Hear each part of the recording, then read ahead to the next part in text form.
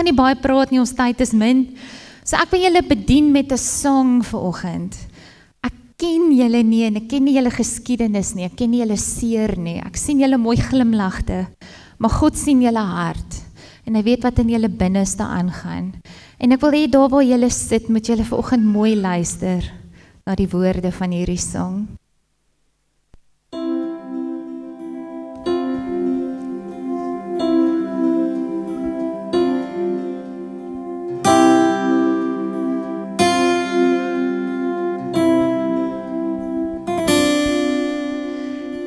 Iewers is iemand wat nog soveel wou sê, wou vertel van dit alles wat diep in jou hart lê. Maar jare vervaag dit wat jy eintlik wou hê. En woorde lê ver van wat jy eintlik wou sê.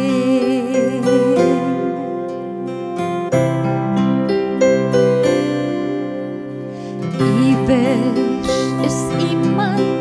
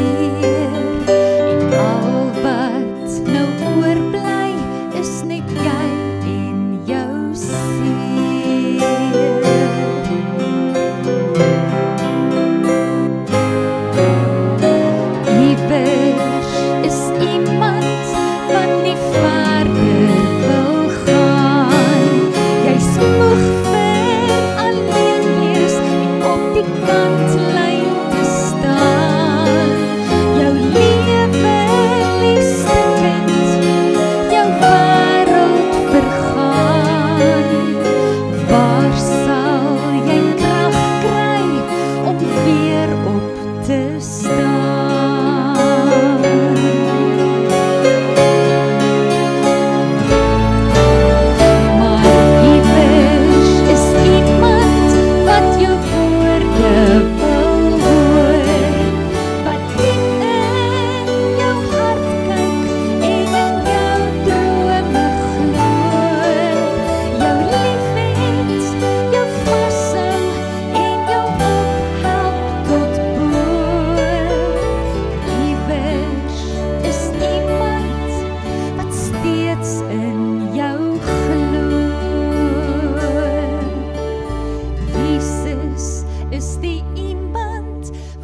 Nog steeds in jou